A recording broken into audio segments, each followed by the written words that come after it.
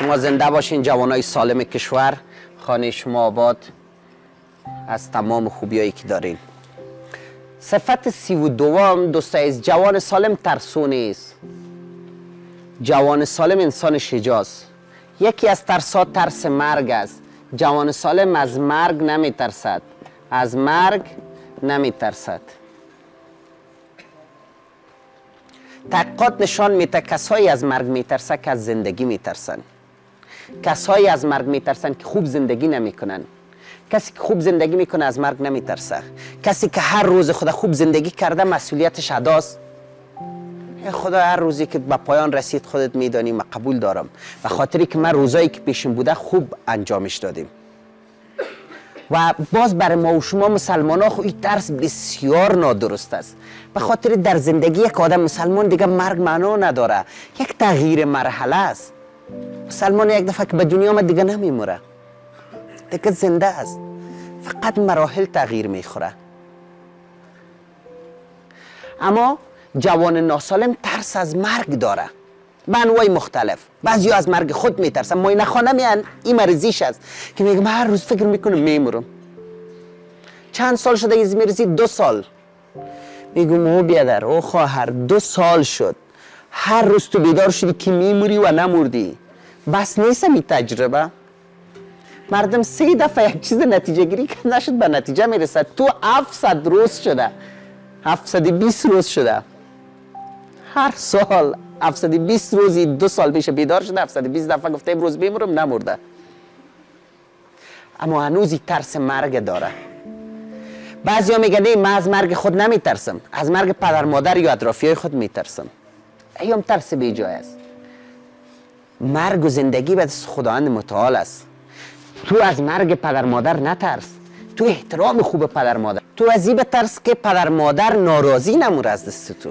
در غیر از ما مرگ توقف داده نمی‌تونیم. بهترین عالم پیامبر مبارک ما رفته. پدر و پدر کلانا میرن. خود ما یک روزی میریم. ولی مهم است که خوب بریم از این دنیا. مهم است که خوب استفاده کرده باشیم. بعضیا میگن نه ترس است که من برم بعد از من بالای بازمانده های چی گپ میایه همگی خدا داره. پیامبر مبارک ما پیش از تولدش پدرش فوت کرد. خورد بود مادرش فوت کرد پدر کلانش فوت کرد. اما جهان تغییر داد. وقتی کتاب صد مرد تاثیرگذار در تاریخ نشته می‌کنه اول پیامبر ما را می‌گیره. او رو آدم مسلمان نشته نکرده. غیر مسلمان نشته کرده. ولی چون دیده که تاثیرات عمیق بوده زیاد بوده. اینا ترس مرگ نداشته باش. ترس ترس بیهوده مرده نداشته باش. حتی ترس از داشته باش بیهوده زنده باشی. تو از این دلت بلرزه که امروز که من زنده بودم چی نکردم. مبادا فردا باز زنده باشم و خراب زندگی کنم. خوب زندگی کردن یاد بگی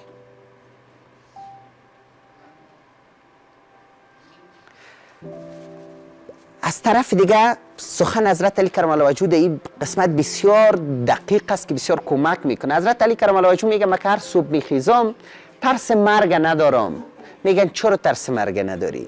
میگه یا او روز خداوند تقدیر به این برده که من زنده باشم. خیریش قدرتی مرا کشته نمی‌تونه. من چرا باید تشویش کنم؟ یا قرار به او روز به خداوند از این دنیا ما برم اگه خداوند خواسته باشه خیر هیچ قدرتی مرا نگاه کرده نمی‌تونه. خیر چرا باید من تشویش کنم؟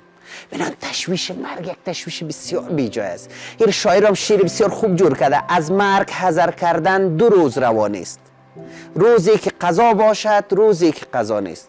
دو روز نباید میگه از مرگ بترسیم. روزی که قضای مردن است روزی که نیست. چرا؟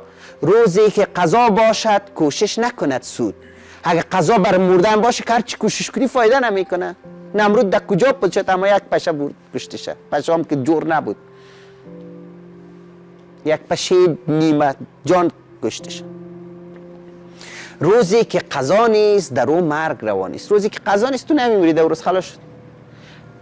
ترس مرگ نداشته باشین جوان عزیز. خوب زندگی کنین تلاش کنین بهترین استفاده را از ایامی که زندستین ببرین. روزی که کار کردین دیگه شما مرگم با آغوش با لب خندان پذیرفته می‌تونین. کسایی که دیدیم که از مرگ میترسه بفهمین که حالش خراب است مریض است و باید کمک بگیره. صفت سی و سوم علم است. جوان سالم دنبال علم و آگاهی است.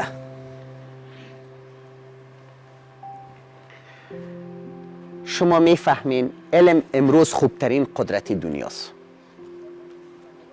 قدرت در طول تاریخ تحول کرده. در گذشته ها انسان در غار کو زندگی می‌کرد. تو خانه و تعمیرات جور نتانسته بود تو وقت. در او وقت زور قدرت زور بازو بود. هر کس پالوان می بود هر کس تیز دویده می‌تونست هر کس بیشتر شکار می‌تونست امور رئیس قبیله بود. زور وقت زور بازو تعیین می‌کرد. آیستا تغییر خورد. دیگه زور بازو نبود. دیگه آیستا آیستا موضوع ارسی شد.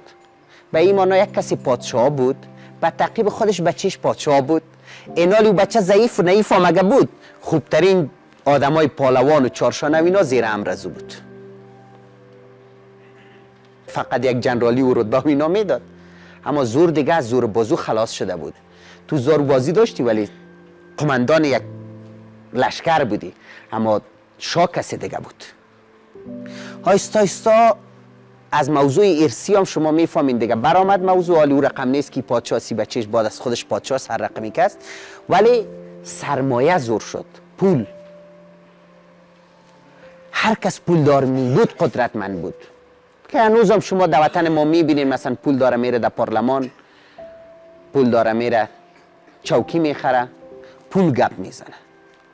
ولی آیستا آیستا در جامعه اطلاعاتی یک چیز دیگه جای پیدا کرده. او قدرت تخصص است. انسانی که متخصص خوب است قدرتمند است. انسانی که دانایی داره دیگه گپ می‌زنه. آل دیگه مردم فهمیده. خوب پول داره است اما گپ زدن خدا یاد نداره. می‌بینین دیگه فیسبوک ها پر است چون پولشان دریای کابل بند می‌کنه. دریای فیلی را بند می‌تونم قبول دارن. ولی گپ زدن خود یاد ندارن. خب مردم چی قضاوت می‌کنن؟ مردم میگه کی گپ زدن خود یاد نداره. به خاطر پولش است. ولی یک کسی دیگه پول زیاد نداره ولی خوب حرف می‌زنه. کلیگی می‌فهمه کی متخصص است. و این هنوز هم جایگاه خوبتر شده میره. در دیگه دنیا در دیگه ممالک شده. در افغانستان هم جای خود پیدا می‌کنه. اگر می‌خوای که تو فردا حرف اول گفته بتونی تو باید متخصص باشی. تو در اشتیت آخرین اطلاعات باید داشته باشی. و ایره برات میگم ما تا هنوز نیدیم کدام متخصص گرست نمانده باشه. احتیاج و محتاج دیگران مانده باشه. امی ادقلی کاری که می‌تونه تخصص بر تو بته دستت پیش دیگر را دراز نیست. نان آبرو من خورده می‌تونی. امی یک فایده تخصص. اگه از بیشترش بگذری. ولی تو که متخصص خوب باشی مردم دیگه برات احتیاج پیدا می‌کنه می حضور می‌کنه می بیای امور مملکت تو پیش ببر. یادت باشه. ما که طرف تو می‌بینم ما می‌بینم که یک روز مردم مملکت به قدرت و به فهم تو به دانش تو به صداقت تو پای می‌بره. خودش می حضور می‌کنه که بیادر ما از این خائنا به سطور رسیدیم. تو بیای چوکی رو پیش ببر. ما در توی توانایی رو می‌بینیم ریاست ای وزارت ای وکالت ای رو پیش ببری. این رقم اوضاع نمیمونه. خوب خاطرتان راحت باشه. این هم دورام که پول بردن. دوری دیگه بس شما فکر کنید چی رقم میشه. دیگه پول خوب بدنام شد. کمی که حالت بر مردم پلاو بتی و تلفن بتی وی بتی بتی ولی از راه دیگه پس حق مردم در جیب خود بزن. و خب چی می‌کنی در پارلمان تو؟ یعنی بر قراردادهای خود زمینه رو فرام ساختی. این دیگه استاستا مردم شور شده میره می‌فهمه. بنان جای جای تخصص میشه. علم یاد بگی. از امروز به فکر ازی باش چطور تو مدارک علمی خوب داشته باشی. دنبال لیسانست برو. دنبال ماسترید برو دنبال دکترایت برو. پیش خود تعهد که تا روزی که زندستی باید یاد بگیری.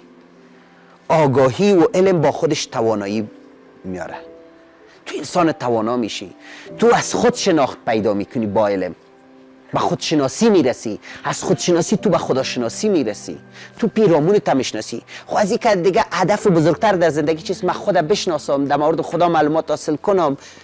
خدای خدا خوب. بشناسم مردم رو بشناسم محیط بشناسم قوانین بشناسم. از اینکه چیز بالا چی می‌خوایم ما در زندگی؟ و این علم بر ما و شما میته علم بر ما دانایی و توانایی میته ما بحث ما همیشه ایست که تنها علم ما را نجات داده نمی‌تونه. چون بعضی وقتا که ما بس کردیم یک مک... قسمت کوتاهش بعضی شنده باز اعتراض کرده خب اون فلانی داره خیر چرا خیانت می‌کنه؟ اول اگر در کل شما تقسیم کنین که هیچ پروسه اخلاق هم در نظر نگیرین از نادان که حتما دانا خوب است در هر صورتش. دو کشور در نظر بگیر یکیش مردمش دانا یکیش نادان. اما دانا خوبتر از در صورتش کس ولی ما منیس یک مسلمان منیس یک انسان خوب. ما نجات دنیا را در دو چیز می‌بینیم. علم جمع اخلاق. ما اینی گپ میگیم. هر کس اینی بستر در زندگی عملی کنه کل مشکل دنیا حل میشه به می خاطر تا مثال میتیم میگیم علم بطنوی ما بعضی وقت مثل کارد میتیم در دست قاتل که جان می‌گیره ولی وقتی میشه علم با اخلاق در دست جرایی است که یک جان نجات میده از کشتن تا به نجات دادن فرق می‌کنه تو علمایی را می‌بینی که خیانت می‌کنن اونا اخلاق ندارن سعیز دکترا دارن در وزارت و وکالت و بعضی جام رسیدن. اما خون مردم خورده رئیستن حق ملت خود خورده رئیستن پیسای از این کشور می‌گیره میره در خارج سر خود مصرف کرده رئیس اونجا برده رئیس. او اخلاق نداره. ما میگیم اگه می‌خواین دنیا نجات پیدا کنه علم با لباس اخلاق مزین بسازین. کلی چیز حل است. در پالی که تو علم داری عادل باشی با انصاف باشی راستگو باشی محبت داشته باشی بر انسان ها آزاده باشی. وقتی تو این دو تا در جهان تطبیق کنی مشکل جهان حل میشه. هم دنبال علم باشین هم دنبال اخلاق باشین. اگه این دو چیز در زندگی شما حاکم بود هم سرفراز در این دنیا هستین هم در دنیا. هم در اینجا بهشت گونه زندگی می‌کنین هم در دنیا بهشت پاداش شما می‌باشه.